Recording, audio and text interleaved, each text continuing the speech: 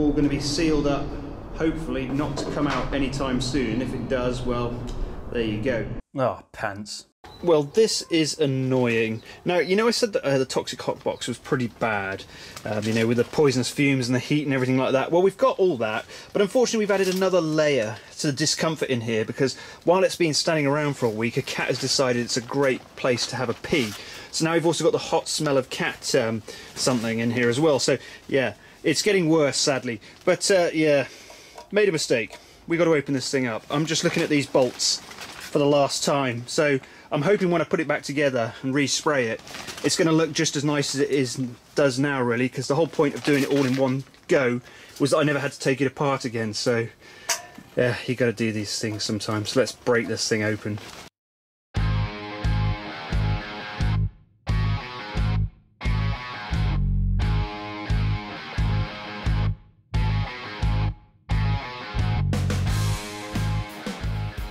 Say what you want about the guys who broke into King Tut's tomb and had the uh, curse. At least it didn't smell like hot cat piss. Right, you know what I was talking about um, before about how these um, bolts in here don't really. Well, they they do obviously do something for um, keeping oil in here, but really the sealant is all in the. Uh, sorry, the sealing is all in the gasket. Because look, I've removed the bolts and it won't come off at all because obviously it's all sealed on there and all stuck on there. So you can see that really the uh, bolts just hold it in place and it's the sealant and the gasket which do all the work here. So let's try and remove this thing and un, uh, uncover King Tut and get him out of here.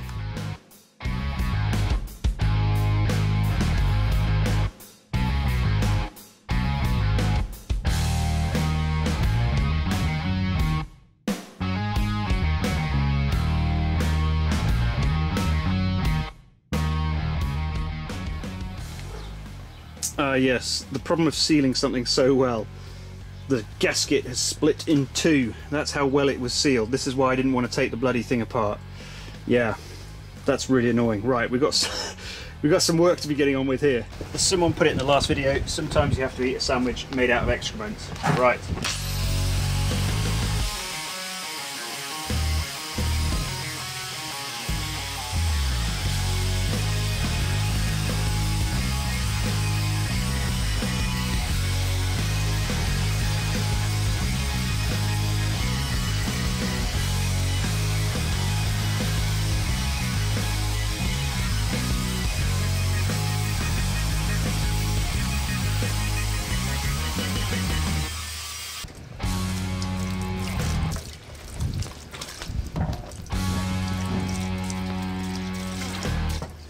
Whoa, it's hot in here today. It's hotter than it was a couple of days ago, so it's it's going to be hot. But we've got to keep this um, clean in here, okay? Because obviously this is all open, so I don't want any dust or dirt getting in here, so I can't open the door. So I am going to get hot.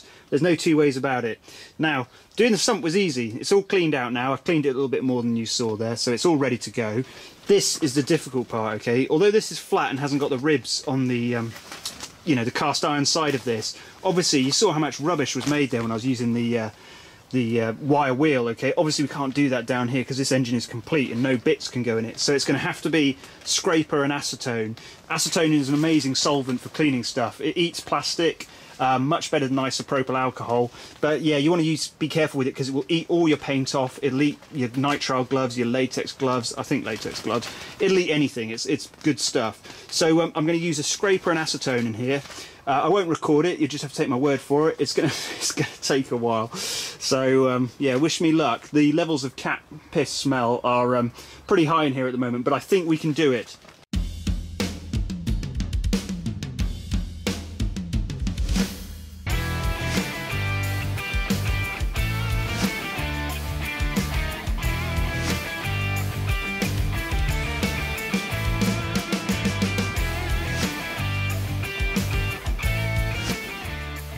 Think I'm still vaguely alive in here. It's um, it's pretty bad, but um, as you can see, we've got all that gasket off. That actually went better than expected. In all fairness, look, you can see all the machining underneath and all how it looked before. So got all that gasket off using a bit of acetone and a scraper. So it worked pretty well. You can see why you don't want that stuff going in your engine. It's all down there, you know. Some of that fibre gets inside um, oil galleries and you know big end um, gallery or something like that, it's going to block it up and you're going to have oil problems in your engine and your engine's going to get trashed. So really careful about that. But why have I broken into this thing? Why have I taken apart this lovely engine which I just uh, put together and spent so much time on? The answer is there, underneath that nut, underneath that nut. I, without thinking, well, Firstly, um, as some of you will be aware, I'm not actually trained as an engineer or anything like that. I'm not a mechanic. Um, just do this um, as I work it out really by reading books, reading the internet and working out what to do. And sometimes I make mistakes, especially when I'm working through stuff. You know, you, you think, well, it's a, it's a nut, it needs a, a, a, split washer on it. Well, when it comes to big end bearings and con rods, you don't put split washers on them, okay? You torque them down, and then in the past you'd put a pal nut to lock it. I'm not going to do that, I'm going to use Loctite again. I do have Loctite on here. Um, or, yeah, you use Loctite, obviously. I put the washers in without thinking, like an idiot. So um, that's annoying, so I've got to remove them. Obviously these are under a lot of stress, you know, the, the motion up and down here is hammering away here, right? And these um, these uh, washers can fatigue over time and break loose and also they can loosen off and um, you know your nut can come off as well so you obviously you've got your cap smacking around in there and that's going to wreck your uh, your big end and your crankshaft. So you don't want to be doing that. So unfortunately these have got to go out. I would have liked to have left them in but there's no two ways about it. They've got to come out. They're not right. So we're going to undo them and uh, re-put on Loctite and then retighten these all down. So let's get taking these apart then. Right we've got our nuts on. We've uh, Loctited them this time. The Loctite blue was really strong actually breaking it off there. So it is bloody good stuff. So I think it's better than a pal nut really. Um, but this is all clean I'm ready to go Fortunately, I had a spare gasket lying around, which is quite lucky. So let's start sealing this thing up again and hope to not open it once more. well, this is it all completed then, re-sprayed and ready to go. So I think you'll agree that you can't actually tell that it's been apart. So that worked out really nicely. Now we're going to cut forward a little bit here to uh, a week or two later. Due to the coronavirus thing, it sort of slowed everything down. So we're going to look at the gearbox now and how I got that together. So let's cut to that. It's time for the inevitable. I have got to build a transmission. I'm not particularly fond of building transmissions. They're okay. They're a bit of a fiddle to play with and sort out, and they're a bit of a faff. So they're not my favourite thing. Engines are better.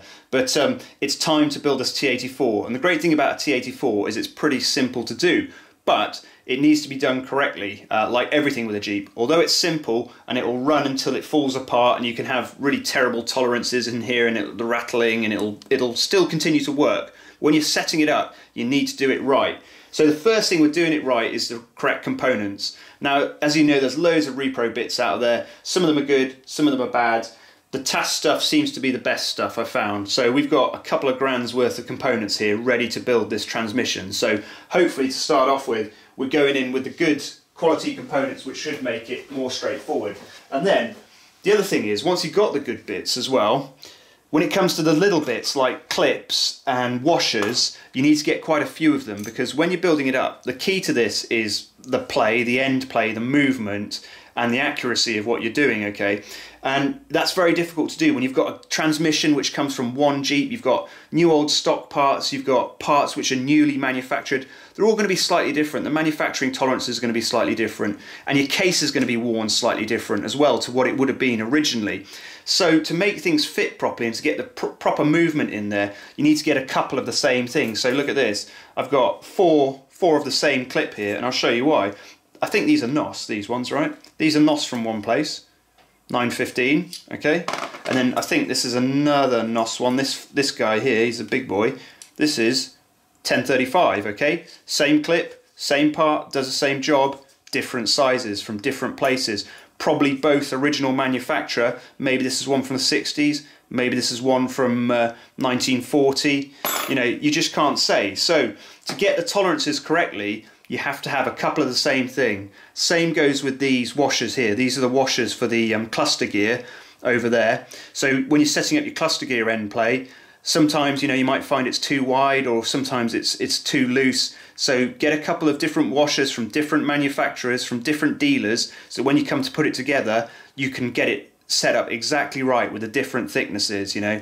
So that's the important parts with this really is having some good parts to start off with, good components, and then a lot of variability in the washers and things that you use with it so that you can set it up correctly so that the tolerances will be right. So that's the starting point for this transmission then. Here's the first problem, it didn't take long. Look at that. That's the snap ring which is supposed to go in there. You can see it's in there, but look, it's overlapping. So they haven't left enough space with this snap ring um, between the two ends to actually get the blooming thing to fit. So look at that. I've got to pull it out again and cut it back a little bit. But this is what I'm talking about with parts. You get the parts, that's a snap ring, supposed to go in there. It's not right. So this is what you've got to deal with.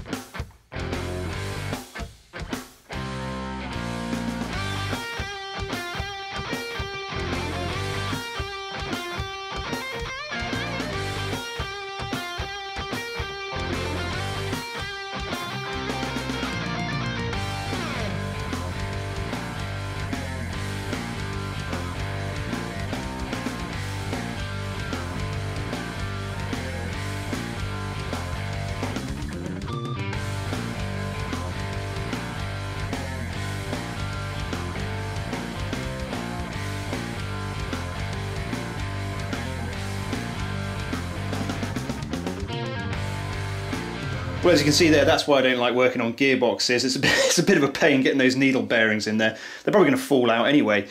But um, this is the main shaft. We've got a retaining snap ring on there, the big fat one, and then we've got this um, sort of wiper which will go on a seal on the rear here to stop any oil going out the back.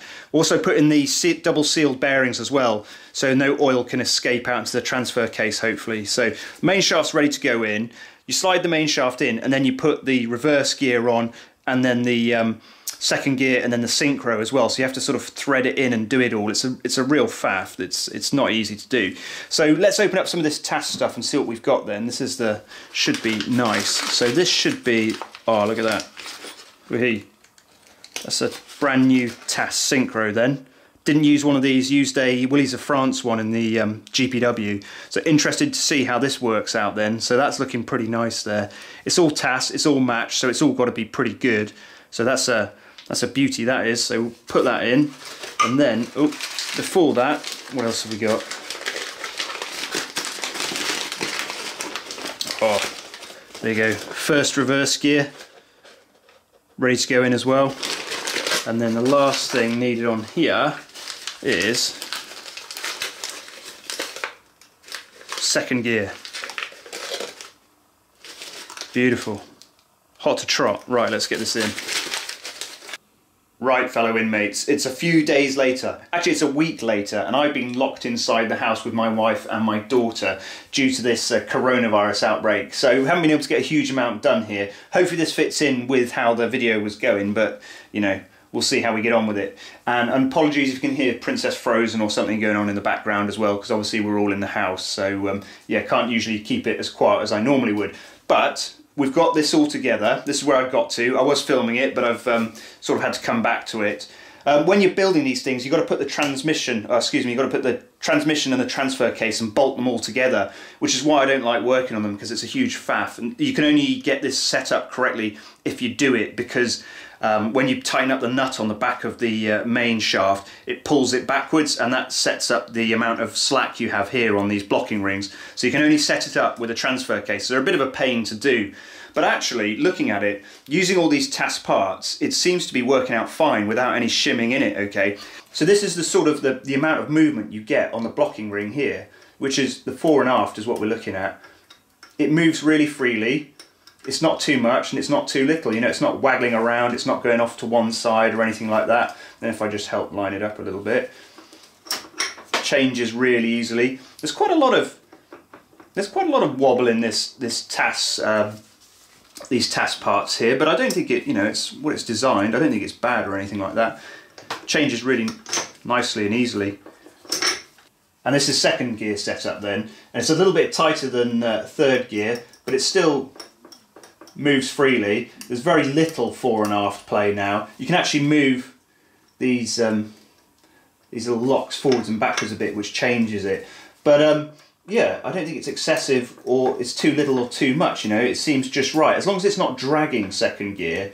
Yeah, I think this is all right without actually having to do any shimming to it. So what I'm going to do now then is I'm going to disassemble the top portion. We'll get the cluster gear underneath ready, which is a bit of a bear to do. Uh, and then we'll come up to the top, reassemble it with everything in it, rebolt it back together without the um, gasketing between it, and then put the tower on it and make sure that it all works when it's all complete together. And then we can take it apart again and then we can start gasketing up the rear and then bolting it up for the final time because you've got to check it multiple times to make sure everything's okay because things affect each other you know? So we'll see how the um, forks affect you know the um, shifter forks affect it because obviously you push it right forward that's how it is now but when the shifter forks on there and the, and the um, detents which set how far the fork goes backwards and forwards is in there it might actually hold it in a slightly different place like there maybe or something like that and that can affect things as well. So we'll set it all together try it see how it goes and then take it apart again and then hopefully do it for its final build so that we can put it in the Jeep so right let's get this thing apart again right she's all apart again and um, this just adds to the fact that I absolutely hate working on transmissions and transfer cases Love building Jeeps, hate transmissions and transfer cases, okay? But I'm keeping it together. This is what I do, okay? So you can see I've got two shafts. There's an old main shaft and a new main shaft. I put a whole load of grease on the washers that I've set up so they're held at each end and then the main shafts are just going through just enough just to help keep the washers in place there and then I'll try to drop the cluster gear in from above without knocking them off. It's really difficult to do. Um, you'll have to do it a couple of times. It'll make you swear. It, it's not a fun job. But this is one of the ways that I've found to do it and it sort of works. Going down. Then you... Oh, shh. SH something. Come on, you look. You doing?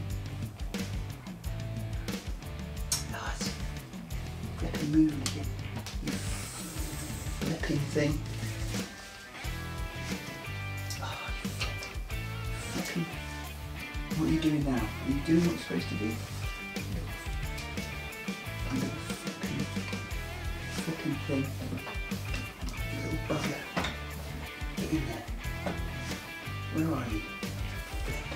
Flipping flip. Flip, flippy flip I think we can still get. How have you come off the shaft?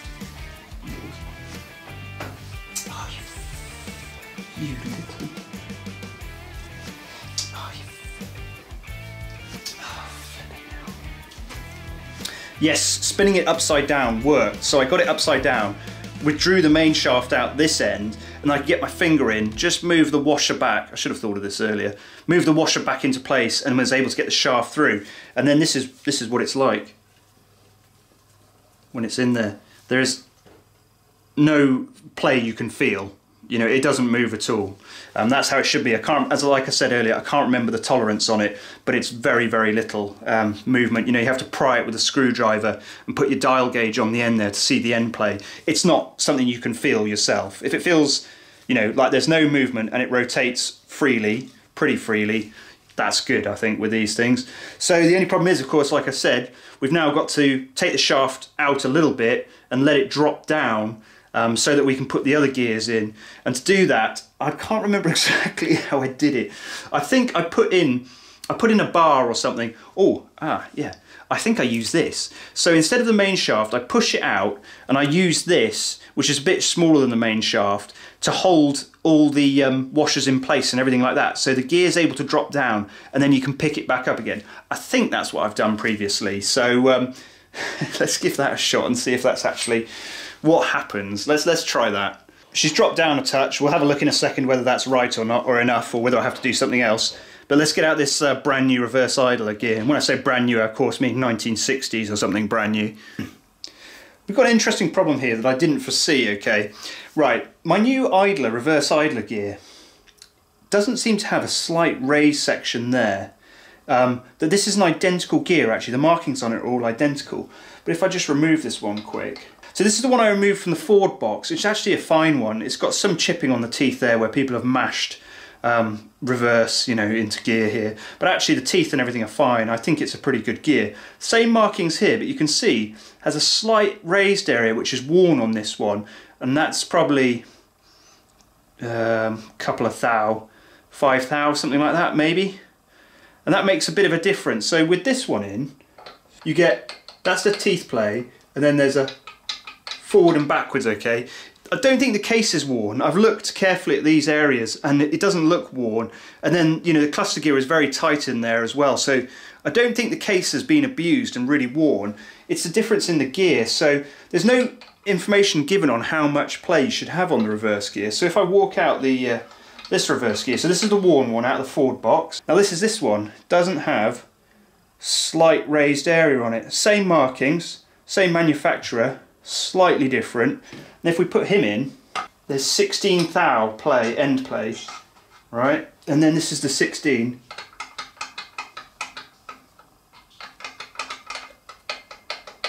You can hear it's quite, goes forward and backwards a little bit more, makes a little bit more noise. So really, what I thought about was sanding down one of these spare washers I have and using that as a shim, because I don't see what the problem is. This one wears, you know, on steel to steel, with the case or you know steel to cast iron or whatever it is on the case. So just having a shim in there instead or a washer bronze washer should be good. But the problem is this is 30 this was 31.5 thou thick. I've got it down to 30 thou after half an hour of hand sanding it which is not easy. So I'd have to remove another 15 thou so another 10 times as much to get it to be to make the gear fit exactly with no end play. So obviously you have to remove half of the um, area of this, um, half the thickness of this washer, which is going to take forever. So I don't think using a washer is an option, but using an okay worn gear perhaps is. I think it's what I'm going to have to do just because there's too much play in that. It'll be quite noisy. And this one, I think, is fine. The teeth aren't chipped, the hardening isn't come off it. It's just these bashes here, but you know, they don't make too much difference. So although I'm using all new gears in here, I think we're gonna have to go with the good used reverse here just to get rid of that end play because it's gonna make too much noise all the time, sort of rattling around in there because the, the reverse idler runs all the time. It's always attached to a cluster gear. So it's always running. It'll always be making a noise. It'll be quite a noisy box just because of that one gear. These are the things you've got to deal with. Right, just been grinding off those little nicks and things like that off the end there. This is where the other gear whacks into and then slides in there to put it in reverse. So this is where the damage goes. But really with a bit of grinding off there, dressing it out a little bit, I think it's fine. I think this gear is going to be good to use. It's going to be better than having the rattly new gear in there. I mean, there's no reason to replace this in the first place. It was just because I could. Um, it's reverse idler gear. You don't use it a huge amount or anything like that. So yeah, I think he's going in. We're going to go with him. So here she all is, buttoned up then. It took a long time. It wasn't, you know, terrible, but it wasn't the greatest thing I've ever done in my life. I don't like working on them. But I think she's all right. So uh, she's in reverse at the moment, so let's just have a listen. This is what it sounds like. This is what, you know, the new gears and everything inside a top, you know, a box set up to spec and everything feels like. So if you turn the, the input, it's like that. And then if you turn the output, that's re that's reversed. A lot of the noise is coming from back here in the transfer case because we are in um, low range at the moment. So that's the straight cut gears working at the moment. They're very noisy. So this would be low range reverse noise, which is pretty noisy. But then let's um, let's bring her into neutral. Trying to align it to get it to go into gear isn't easy with the straight cut gears. You have to get them right. There you go that is first. Should be that way. Actually, return that way. Neutral, going easily now, and then second, third, all that way should I say. So, All working. Well, Jeepterman, it is a week later, and this thing is looking pretty rough, but actually it's really good. And like a lot of things in life, it's got to get worse before it gets better, especially at the moment. So I'm really pleased with how this is going currently. Just so you can see straight away, some bits here. This was where it was a bit wavy still, showing a bit bit too much of its age. I know we want some um, patina and age in this vehicle, but just back here was just a bit too rough. So I'm in the process of filling it at the moment. That's just a layer of um, oxide primer on there just to see how it looks. You can see there's a sharp line there, which isn't properly sanded back, so that's got to be sorted.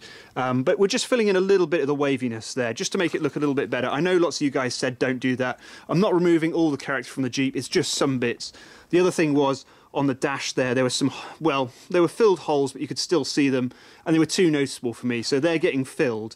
Um, same down here as well. You can see you've got the original sort of stress marks when this was formed, but here was just a bit too rough. So this is getting filled and re-sanded back down just to make it look a touch nicer. So those are some of the visible things.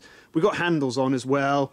All of it's got the correct EC marked bolts for an MB. Now, those of you who talk about Fords and are like, well, you've got to collect all the Ford bolts. When you're working on an MB, let me tell you, it's even worse because it's not just Ford bolts you've got to collect, it's M, uh, EC marked bolts, CTR marked bolts, AA bolts. They all go in different places as well. EC seems to be on body parts, CTR seems to be on the front here.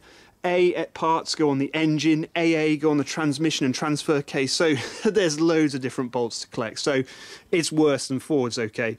But I was worried that I'd have to take the uh, tub off, okay, because I had to drill two holes underneath here to hold the tub down finally. Okay, because this floor here has all been replaced, so this hole's had to be drilled here. Now the problem is that to get a drill in there, it's not easy. If we come underneath, you can see where it is there, right?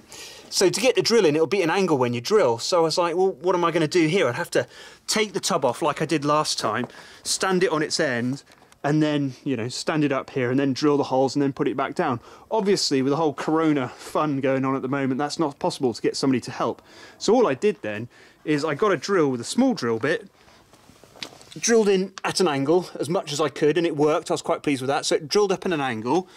It came through the floor. I could just see it poking out, and then I worked my way across from where the, it was showing and drilled with a proper drill bit down for the bolt. And that was in the correct place. So I was able to drill in the correct place. So the tub doesn't have to come off. It is on there finally. And it's worked out really nice actually.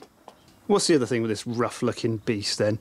On the rear we've got an original World War II Firestone tyre this is interesting because this is made in England so I think it's World War II but it's uh, Lend-Lease or manufactured in the UK, which is pretty cool. So that goes with it being a UK Jeep. So that's really nice. So we've got the um, used, part worn, original tyre on the rear there. So that's pretty neat. And then coming around, other bits. Fuel tanks in, all plumbed in. Well, mostly plumbed in. Original handles on there. Some more repair work going on. Transmission and transfer case went in fine. I use a transmission jack like I did on the GPW. Put it on the side here, roll it underneath, crank it up underneath, and then you've got your transmission and transfer case in which you bolt on on the side. So that was nice and straightforward. That went um, really easy. An interesting thing I was just thinking about with handles there is that, you know, we're doing this, where is he? Ah, here we go. You know, we're doing this, um, we're going quite full out with this, right? There's an interesting thing. This is a Ford handle, okay? Yeah, just my daughter going outside. This is a Ford handle, right? This is a good one. So why didn't I use this on the MB? Well, they're different and you can see the difference here now spot the difference yeah you can see there's a the way that they're formed is different the MB ones are much more sort of rough and it's just squashed there whereas the Ford ones have more of a profile and a shape to them you see the MB one is just squashed so didn't want to put Ford ones on there so got hold of some proper MB ones so it's got real MB grab handles on it which is awesome and around the front, you can see that red monstrosity there is a 6 volt battery for this, which is going to be an Optima red top. Now, I know what you're thinking, we're not going to leave it like that. What I've managed to get hold of is something quite cool. In America, Bobby Lenz has very kindly sent to me a Willard battery case, right? He has made these out of resin, I think, and they're awesome. So look at this, right? This is it. This is what we're going to have. There's my battery case take the top off it, drop the Optima in it, put the top back on, seal it all in. you'll never know that there's a modern 6 volt battery in it. It'll look exactly like a World War II Willard. So that's really awesome. So I'm really looking forward to getting that seated in there and everything. You can see how the Optima will be. It goes at an angle there. I think these are only 50 amp hours, so I'm hoping it's got good cranking power for starting the Jeep, but it hasn't got a huge capacity, so I'm hoping it's going to be all right. But they do have a lower capacity than many of the other, you know, normal lead acid 6 volt batteries. Here we go. Look, in typical fashion, I couldn't control myself and just got on with it. So I put the uh, red top in there, and look, this is how it looks. Obviously, it's a bit rough at the moment.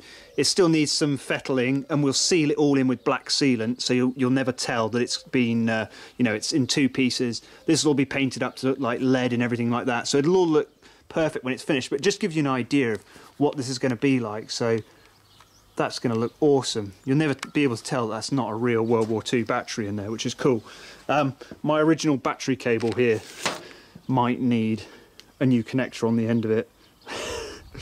Look at that.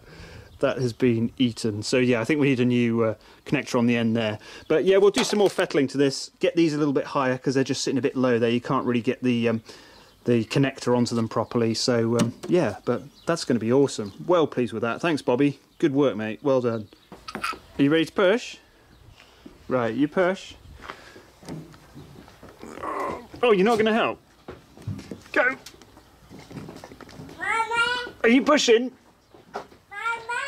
Oh, God, the more you put in it, the heavier it gets. I hope you haven't. Oh, I'm stuck on the ledge. Oh.